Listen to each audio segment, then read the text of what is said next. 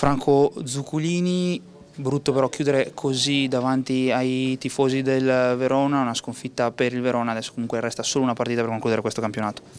Sì, ovviamente resta una partita che ancora eh, si deve giocare con lo stesso atteggiamento di oggi, eh, ovviamente eh, dispiace molto la situazione, eh, tanto come ai calciatori, ai calciatori come, come, allo staff, come alla gente ovviamente, si capisce anche al tifoso che vuole lo stesso risultato di noi e allora dispiace tanto.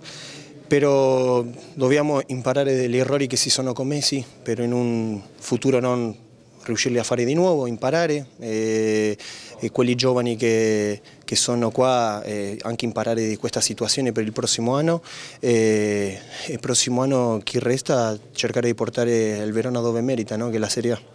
Ecco, parliamo di futuro, ci sono le basi comunque su cui ripartire, ci sono dei giovani forti di proprietà su cui il Verona ha investito e su cui appunto si deve ripartire. Assolutamente, ci sono dei giocatori che hanno un futuro gigante, eh, solamente che magari in Serie A il tempo non ti lo perdona, no?